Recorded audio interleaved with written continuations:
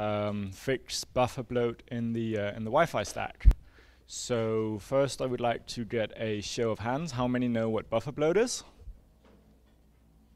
Pretty good. How many use Wi-Fi? And how many are too busy using the Wi-Fi to listen to what I'm saying? right. So um, there should be something for almost everyone then. So um, I'll go through a little bit about what it is we've been trying to fix and some of the peculiarities and uh, properties of the 802.11 MAC protocol that gives some constraints on how we can fix this. And then I'll show uh, what we did and give you a few slides with some, uh, some performance results. And then the uh, most important thing is this uh, next step thing where uh, I'm hoping it will be a little bit uh, of an interactive session, otherwise we will have a lot of awkward silences. So I'm trying, I'm hoping to get some, some feedback on some of the ideas uh, we have for the next steps, whether or not they are a good idea, whether or not it's completely daft what I'm proposing, and maybe some ideas of how to do it as well. So uh, first up, the problem, um, buffer bloat. So this has been um, this has been pretty much fixed in large parts of the stack, but as we can see here, um, for the th this is sort of a plot of different uh, queuing disciplines applied to a Wi-Fi link, and even the best ones still have almost 100 milliseconds of latency at the Wi-Fi link and uh, I'll get back to why that is and and what we did to fix it. But this was sort of what we had going into this. And then the other thing that we did was look at this thing called airtime fairness. So um, in the MAC 802.11 protocol, by default, it will provide sort of throughput fairness, where the time spent transmitting to each device um, depends on the time. This is this one. That this is the default, uh, the, the bottom one there. That um, it depends on how long each station actually spends transmitting. Where what we want is really this thing, uh, complete fairness, because the um, the scarce resource here is the time spent transmitting on the air. Um, because when we get the other thing, we end up with uh, with throughput fairness, which means that the whole network goes at the rate of the slowest station on the network. So if you have one device that's at the other end of the room, has a bad connectivity, that's going to slow down your whole network because it's taking up all the airtime trying to get a few packets through at 11 megabits per second. Um, in order to fix this, uh, we had some constraints from the MAC 802.11 protocol. We must uh, do aggregation, so because there's a lot of overhead each time we transmit anything on uh, Wi-Fi, we aggregate packets to try to be more efficient. And that has to be done per traffic ID, which is an, an identifier that each packet is mapped to, usually by, by diffserv mapping. So this is also how Wi-Fi does QoS. Uh, and we must also handle re-injection of packets for retransmission, which means that if the driver sends out packets to the hardware, um, and the hardware fails to transmit it, uh, like doesn't get an ACK back, it will throw them back up to the driver, and the driver will then requeue them for the next transmission. We must also, of course, be able to keep the hardware busy, especially on um, low power devices. This means that, that there's some limits to how little queuing we can have. Um, and we also wanted to, to do this thing like, to be deployable without having a flat day where you upgrade the whole network. So a lot of the, the benefits we want by just upgrading the access point, for example. And then there's some some uh, sensibility to reordering for some of the operations, which like was one of the interesting bugs we had when doing this. That turns out if you add vanish queuing and then uh, then packets can get reordered, and then the se sequence numbers in crypto IVs are out of order, and the receiver will drop just drop half of your packets but especially the, uh, the first two constraints there that we have to know more about the traffic than a QDISC does, um, and we have to be able to re-inject packets, means that we decided we couldn't use the, uh, the existing QDISC layer without add adding a lot of API between there that would complicate everything. So um, that's sort of a bit of the background. So what we already did and what is already in mainline since 411, I think. Four, some of it like between 4.9 and 4.11. This has gone in, in in like bunches. So we've reduced buffer bloat by an order of magnitude, uh, as you can see here. Like this is this is Linux default before 4.9 when this thing went in. Uh, so this is with a, a normal FIFO QDisc, uh, where you get your 500 milliseconds of, of latency under load, and now we're down to around 20. Um, so there's it's still uh, a bit more than you get on Ethernet, but a lot of that is like the low-hanging fruits have, have been handled now. We also have almost perfect airtime fairness uh, in the driver, which is supported in Ath9k. Ath10k only has the, uh, the buffer bloat fixes, and we're working on uh, how to expand this to basically all drivers. I'll, I'll get back to that in a bit. So, how did we do that? Do this? Well, naturally, once you have a queuing problem and uh, you want to solve this, what we did is we increased the amount of queuing by a factor of about 16. Uh, so like this is, uh, we try to, to queue smarter, not harder, um, by changing the algorithm of the queue in instead of just getting rid of the queue.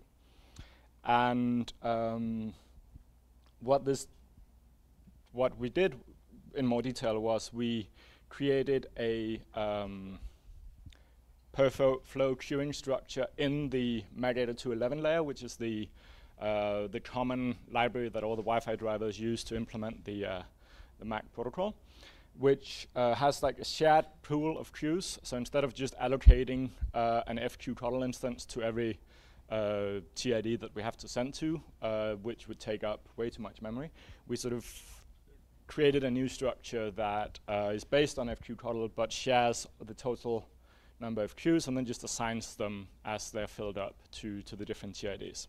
So it supports this per TID dequeuing, you, you have the scheduling, everything. And so on top of this, it was quite straightforward to build a, a scheduler where we just measure how much airtime are we using to transmit to each station, and then schedule this in a way so that we equal that out over time. Um, it's also a, a deficit round robin based scheduler that does this. It's sort of the idea is also comes from fq_codel, but it's working in airtime instead of um, instead of bytes. And then we optimize also for sparse stations. So if you have a station that only transmits one packet every now and then, we will put it in the front of the queue, similar to what fq_codel does to uh, sparse flows. And so this is what the uh, the queuing structure looked like in uh, in a Wi-Fi device before we started changing things. So this is for the uh, for the Ath9k driver, where you have the uh, the QDisc layer up here with up to a thousand packets of FIFO queuing by default, uh, or you could replace that with with anything. But the problem was that down here in the driver below the the smart queue, you have a whole another layer of queuing with up to a hundred and 23 packets. Um, and this is what added the latency that we couldn't get rid of. And so what we did was we changed it to this, where uh, down here in the driver, we now only have the retry queue, which contains up to an aggregate of packets if if transmission failed.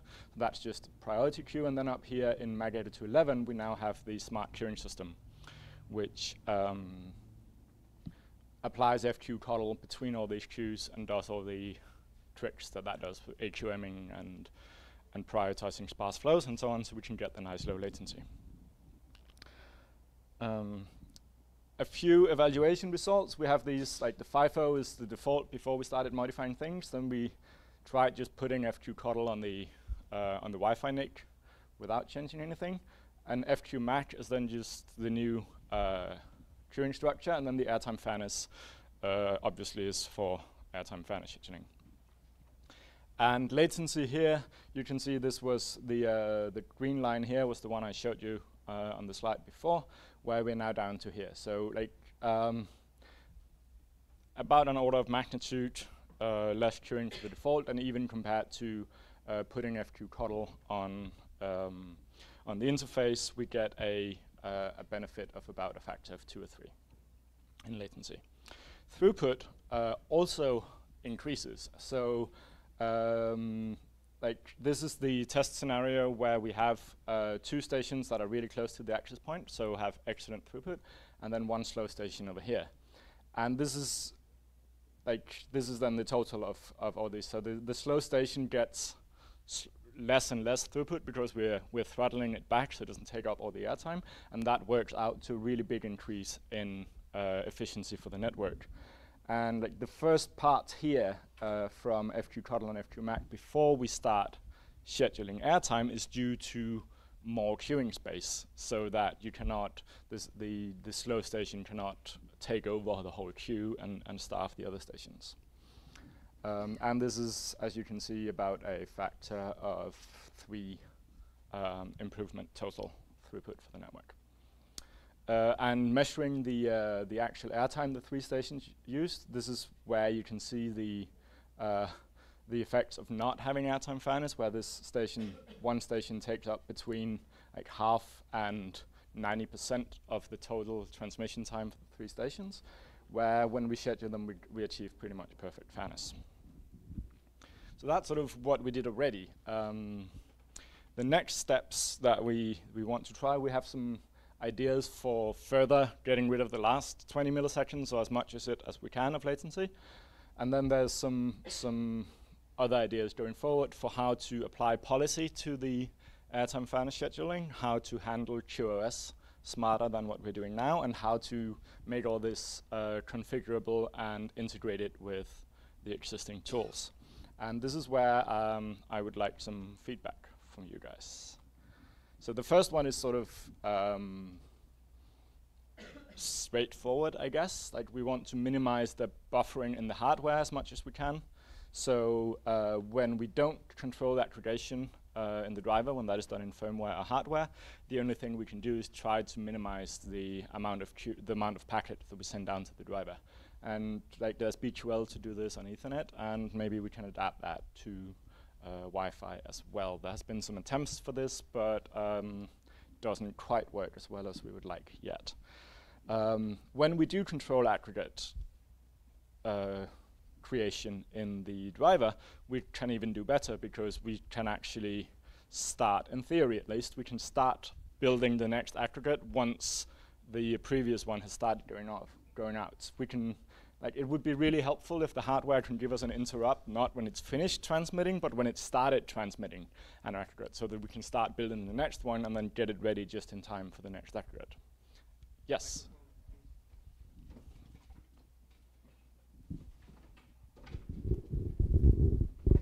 So one thing I'm noticing in, in all of this is that it seems that logically what's what's happening is that uh, whereas a queuing discipline would measure local queue residency time, you're measuring airtime as your as your queue. We do both. Excuse me? We do both. We do both, right. So yeah. I'm saying like it's a combination of so you're externalizing the queue, so to speak. Right? It's not just the time that it sits within the local queue in the queuing discipline, it's also the time it, it spends on the radio, right? Um, yeah, so the latency is mostly the time it spends in the, right. in the queue, but, but we get the other benefits by measuring Right. So you want the transmit interrupt so that you can more accurately measure the airtime component. Mm, no, that we can actually do pretty well already by just like we get one. We we we're a bit behind. Like there may be small unfairness on a small time scale because we we are sort of catching up. Um, the the get the interrupt while we're transmitting is more sort of a a way to try to get fewer bytes queued in the hardware. I see what you're saying. So doing what BQL would have done otherwise. Yes. Okay, I see what you're saying. Um, so like my idea is that we may be able to do better than just BQL because we know that okay we have this one aggregate it's probably going to take four milliseconds to send out so we wait like three milliseconds before we build the next one. I see. Um, it's sort of theoretical of how well this would work in practice without the interrupt. Then we have to sort of estimate the time. so it's a more explicit mechanism, whereas BQL is kind of passive. Yes like for, for the drivers where we can do this, like Ath9k. And so for the other drivers that does aggregation and so on in firmware, we probably can't do better than BQL. Okay, thank uh. you. And uh, there's also retrans.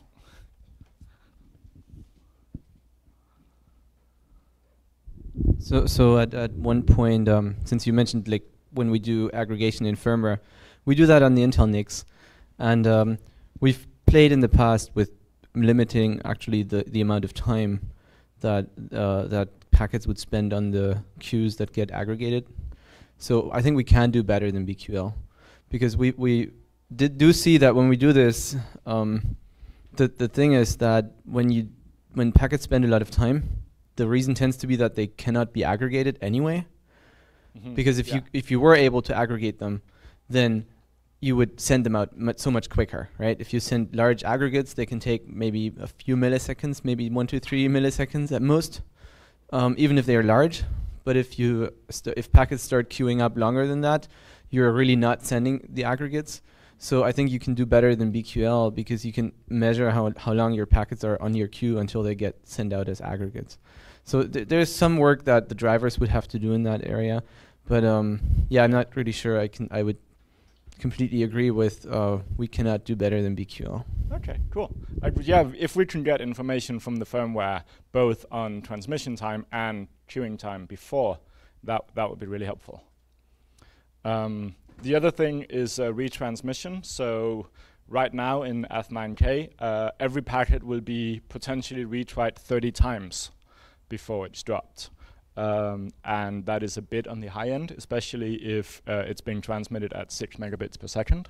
So um, the way to, to fix this, I think, is to start counting how long did we actually try already to send this packet, including how long did we queue it, and then just drop it if we can't get it through and try the next one. Um, and I think that's straightforward to do, I just haven't gotten around to it yet. Then there's uh, the size of the aggregate, so that it may be that it would be a good idea uh, if you have 10, 20 stations with, with outstanding packets, you may want to start sending smaller aggregates because if you're spending 4 milliseconds on each of those 10, 20 stations, that's 50 to 100 milliseconds uh, of delay between each transmission to each station. Whereas if you only send 1 millisecond aggregates to each, uh, it's only 10, 20 milliseconds at the thought at, at the cost of a bit of uh, efficiency. So there's a, there's a latency throughput trade-off here somewhere, um, and and like doing this dynamically and figuring out the right trade-off um, is of course important here. And then for again for firmware, just having a hook into the firmware that says please limit your aggregate size to uh, n milliseconds um, for very small numbers of n would be uh, would be useful here. Yes. Um, moving on to policies. So, um, whenever you, you present this, especially uh, in academic circles, people start talking about different notions of fairness. And uh, normally, I would argue, because uh, airtime fairness uh, works out to proportional fairness at the throughput level, which is generally what you want, but sometimes not. So, for example, if your wireless music player is in the next room at the other end of your apartment from your access point, and it with airtime fairness it's now being throttled so that your mp3 streams no longer work. Maybe if you gave it like 1.5 times its fair share of uh, airtime you would lose a bit of uh, throughput on the whole network but you could listen to your music stream that sort of thing. Um, the other thing is someone pointed out to me that when we have this uh, interface, we could also do things like a limited guest network where we don't put in a shaper to throttle it, but we just have a work conserving scheduler that makes sure that if your stations are active on your um, on your own network, those get priority so that the guest network will never take out more than half of your airtime, which is really the scarce resource. So all these kinds of things could would be nice to be able to do instead of just having the strict fairness scheduler. And my idea for how to do this is to, instead of schedule just individual stations, um, group them. And that way we can also have user space to decide the grouping. Um, and then you schedule airtime first between groups and then within the groups. And you could also, or you could also make the groups like n levels of recursive if you want to get really fancy. And then you can add weights to them. So there's a few examples of, of this. So this is the I want my slow station to be a bit faster where you just put each station in its own group and weigh the um, the slow station for however much you want uh, its share to be. Uh, so that gets twice its fair time share in this example.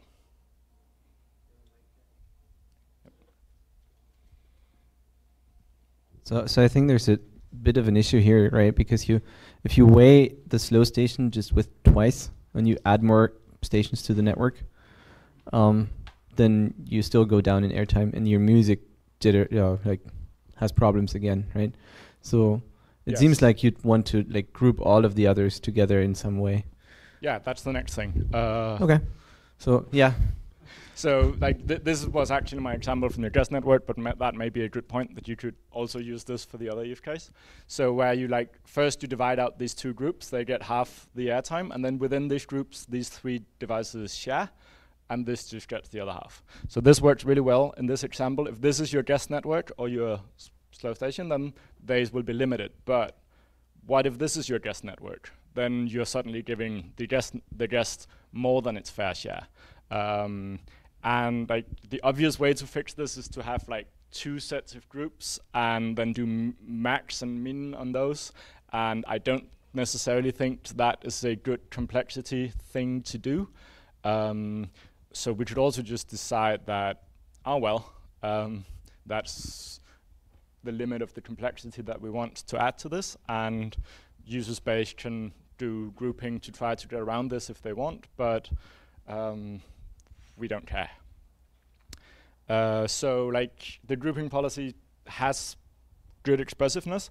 So my, my alternative solution, my thought was, well, we could also just let user space install a BPF program into uh, the scheduler that will allow it to divide up the airtime between all the stations in whatever arbitrary way it wants.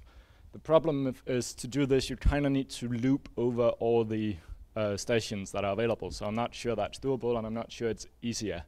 So um, yeah. Mm. Also, since we're doing more advanced scheduling, we may need to move it out of the fast path and have some kind of internal thing. It doesn't really matter that we are falling a bit behind. Um, like as I said, on very small timescales, you're going to be unfair pretty much no matter what you do because we we can't know in advance how long we're going to spend uh, transmitting a packet as we can when we're counting bytes. So so there's no way around that. And like for airtime policy, the whole uh, prerequisite of doing all of this is right now um, the airtime scheduler is in the driver in Ath9k, and I'm trying to change the API between the driver and MAC80211. So instead of the driver just um, get pull deciding which queue to pull from, it will go and ask MAC80211 instead and say, please give me the next queue to pull packets from, and then it will start pulling packets from there because that means it's really easy to do the scheduling in MAC80211 and the driver doesn't have to change. And there's a, I have a, uh, a draft patch set for that. It probably needs a bit more work, but it's seems to work. Yeah. Any more comments on airtime policies? Is this is this a good idea?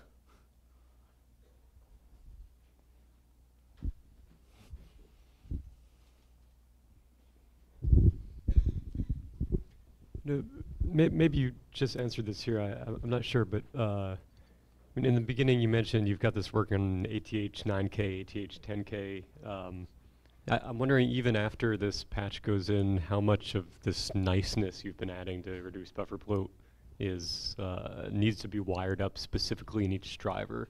Uh, h- how much of Um, this is really specific to how the hardware works, and how much is just kind of generalized model of sending out airframes? Yeah. So um, the what what this does is it changes the uh, the API. I think I maybe forgot to mention this on uh, on this slide with the structure here that as it like before we started changing this this is a push model where mac 80211 when it gets, gets a packet from the network stack it will push it into the driver and the driver will queue it and then send it out later. Where this api between the driver and mac 80211 in this model is changed to a pull model where the driver just wakes up the or like sorry mac 80211 wakes up the driver and says i have a packet for you. And then the driver uh, either on a callback later or immediately will call back up to MAC 80211 and say, please give me a, uh, a packet.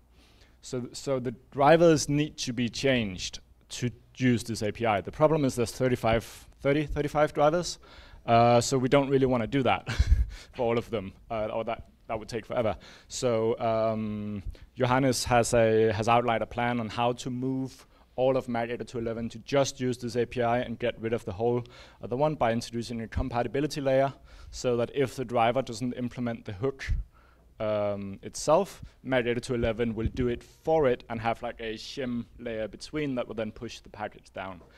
And depending on how much queuing the driver does and how we can limit that, you can get a lot of the uh, benefits that way. But I think like longer term, the drivers will have to change to use this API. Okay, but Um, at least it's just a, a change in the API. You don't have to add CoDel to every driver. No, no, that's that lives Good. up here. Okay. Yeah. So we want to to do as much as possible for the driver to to have this in Mac 802.11. Um, yes. Moving on.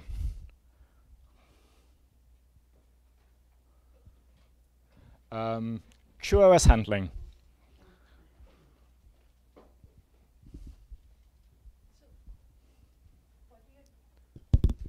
What are your default assumptions if airtime is not reported? Uh, For whatever reason, let's say the NIC crashed or you have just too much environmental noise. You mentioned a case where a packet is retransmitted like 30 times before it eventually succeeds or give up, gives up. I actually um, have a slide here. How to get airtime fairness in your driver. Um, and so like the idea is if you don't expose this at the driver level, you will just get round robin scheduling between the active stations and you will get throughput fairness as is the default. But what you have to do is this is like the up driver up that you have to implement to, to switch to this API. Uh, then we we have a new hardware flag, which is airtime acco- accounting, where you tell 80211, basically I know what airtime is, and I will report it to you when I can.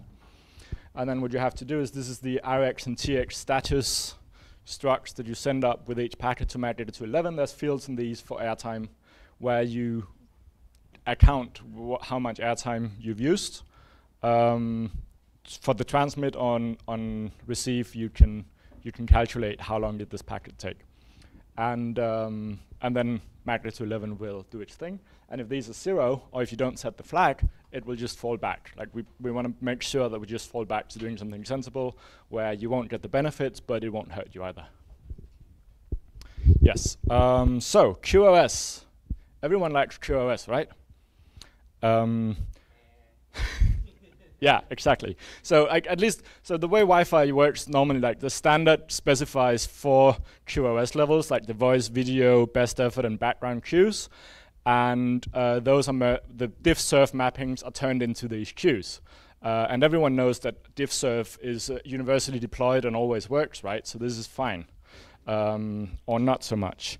So apart from all the issues of how you get your right QoS things, um, actually it is much less needed. I have some more results. I don't know if we'll have time for them. That shows that with these changes, as far as latency is concerned, for example, we can do almost as well with best effort as we could with uh, the VOQ before, depending on the contention of the airtimes, of course. But there's also the queuing of uh, the different QoS levels also has some issues, and there's no ad- admission control. So, for example, you can it's perfectly possible to take a big fat TCP flow, mark the diffserv package to go into the VO queue, and completely throttle everything else going in that queue. Um, there's also the fact that when you have strict priority, you get less aggregation, uh, which can also be an issue. And then there's some interactions with airtime fairness. I'll go through these quickly now. The first thing, my idea was you can do a kind of soft con- admission control where you have your, your VO uh, TID over here and your best effort. And then you have, if you have one of, these are per flow queues, right? So what you can do is you can look at this queue and say, aha, this flow is starting to build a queue uh, on VO, which is not good. It shouldn't be doing that. So what we're going to do is we just pull this whole flow out of this queuing structure and move it over here to BE and remark the packets and send them out as BE. While all the other flows that don't build a queue, they're allowed to go through VO. So this sort of becomes a soft admission control in that it's not a fixed rate that you have to configure as a max rate for VO. It's just if you're sending too many packets and you're building a big queue, we're going to demote you to best effort because then we can aggregate the packets um, and you won't hurt the other well-behaved VO flows. It's sort of a bit like how uh, FQ-CoDel will um, prioritize sparse flows, but if you build up a queue, once the round robin scheduler comes around, you will be, be scheduled as, as best effort. Um, and this structure lets us do that with a bit of, of surgery. So um, I haven't tried this yet, but I think that could be a way to get rid of some of the, uh, the QoS problems.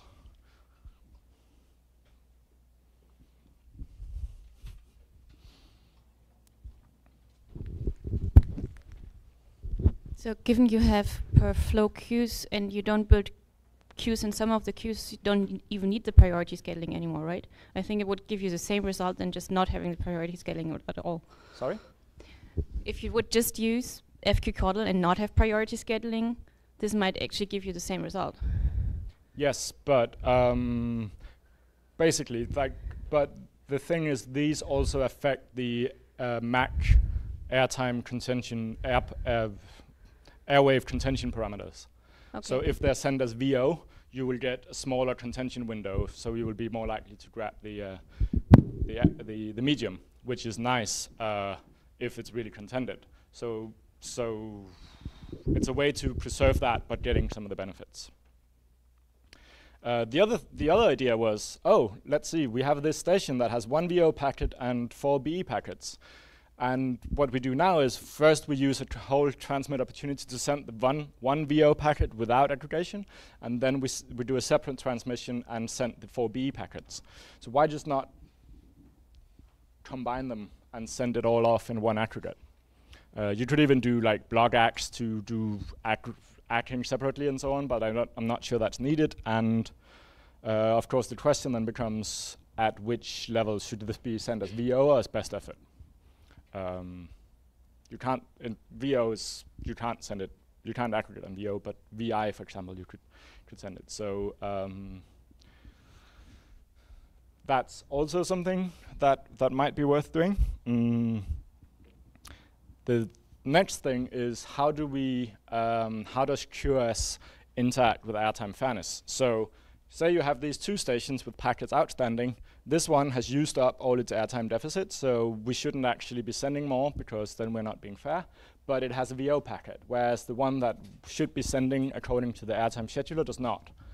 And so right now we have strict priority scheduling, so we send from VO first. So we actually violate the fairness to get the um, the QoS parameters. And I'm not sure this is the right thing to do. I think what we should be doing is um, figure out which station to send to from the airtime fairness scheduler, and then take the highest priority packet from that station and send it, uh, subject to the other uh, stuff I was doing with um, QoS.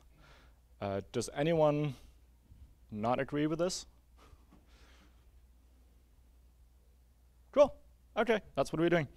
Um, then there's the last issue, which is uh, configurability.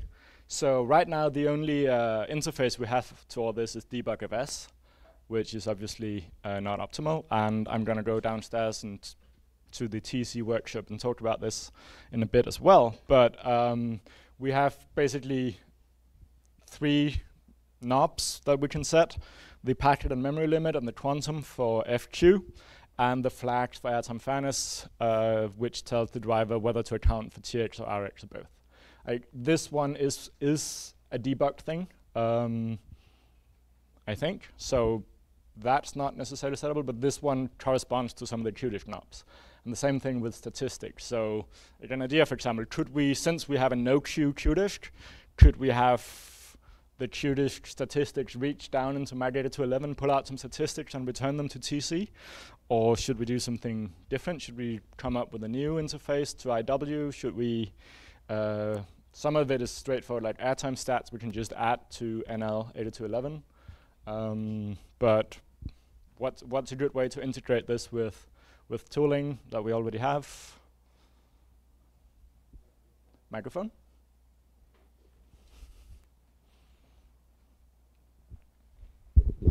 Um, so at, at what arity does the do the queues exist? Is it on a per wireless device basis?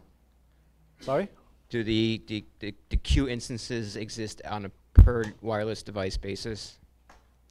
Yes. Okay, so it kind of seems like some kind of netlink interface through NL80211 to fetch these these these Yeah. things. seems to be the way to go, right? Yeah, um, but that means it would be different from any other interface. It's a different interface. See, okay, so th- this is this is kind of what you buy into when you pull the the queuing discipline and all this stuff out into the MAC80211. You really need your own unique interfaces for this, and there's no reason for the generic queue QDisc layer to know about airtime and things like this. People No, playing with that no. stuff aren't interested, right? Sure. So I, I think a custom set of, uh, I mean, are you guys going to use something other than FQ in the future? So that's the next question. Uh, Don't think so, probably, right? I don't think so, but But if that, okay, the- so the yeah. answer, if the answer was yes, that's possible, then yeah, you, we gotta think about the interface a little bit more seriously. Yeah. So like you're right, like airtime stats and on all this I think is pretty straightforward that should go into NL80211. My thought was more that some of these things look a little bit like, especially the statistics, look a little bit like what FQ-CoDel is exposing, for example. Right. So could we expose that through the same channels? Or is that a good idea? Is that a bad idea? So you you could share the layout of the message that Q- Coda Yeah. uses and encapsulate that in a in a, in a, a nested attribute that NL80211 could spit back to the user. That's just one idea. yeah, okay. Okay. Cool. Just as long as it's not debugfs. Yes, yes, we're, we're definitely moving it out of debugfs. All right, so in summary, uh, we've reduced Wi-Fi bufferbloat by an order of magnitude already. Um yeah. And uh, almost perfect airtime fairness in most cases in the drivers that support it. And we have some ideas going forward. And of course, like there's this is uh, when you get the slides, this is a link you can click on to the original paper that um, we wrote describing these things. It's in Usenix uh, ATC this summer. And many thanks to all the people who have helped test this, give feedback, and the friendly wireless maintainers for taking my patches and so on. So, any overarching questions? I'm almost running out of time, actually. That's surprising.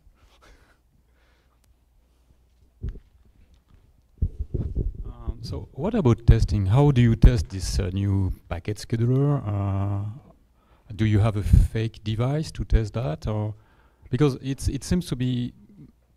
I'm wondering why you didn't um, make it a proper scheduler, packet scheduler, with maybe some few callbacks that the driver could use to fetch a particular packet for a station, whatever.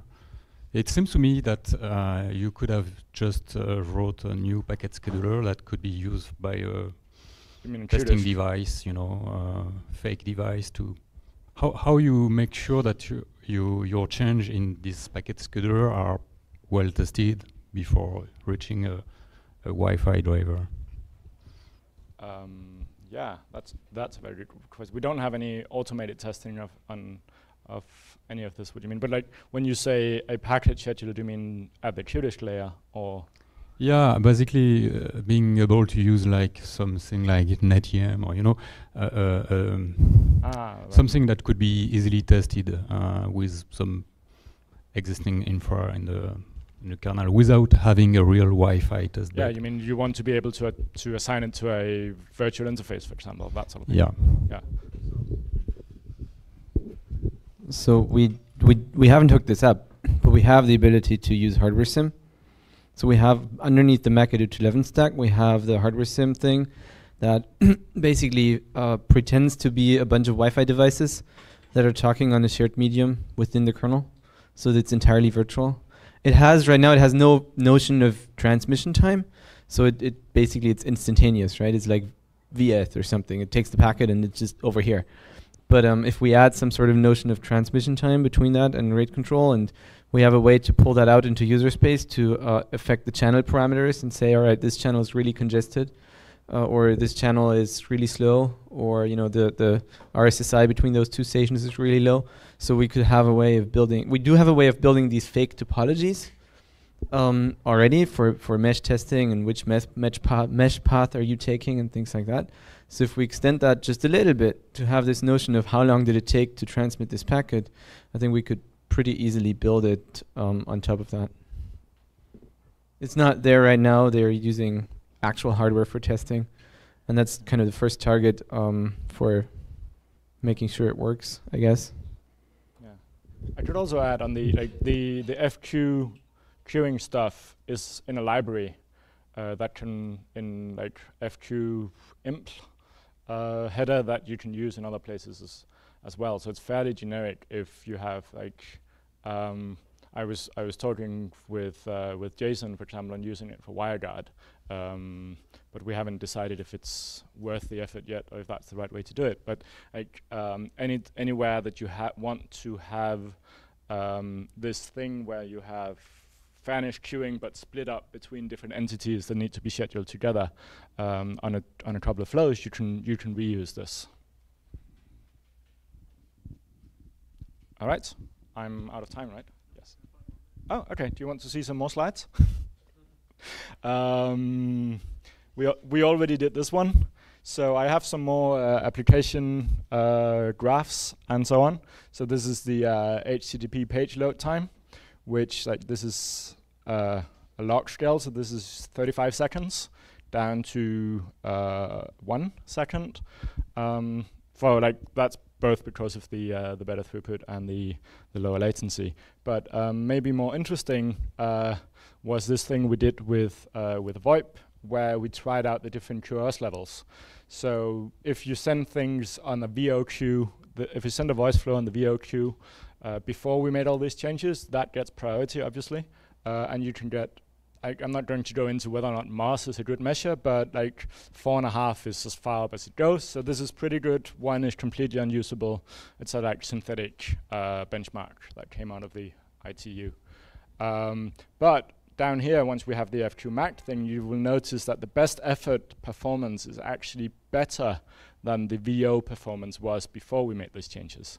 So that's the, the thing where QoS becomes less important. Um, and like there's still some things if the network is really contended, but like this means you can actually have usable uh, VoIP on your Wi-Fi network uh, with like apps that can't set its diffserv markings or uh, ISPs that remove them and all these kinds of things.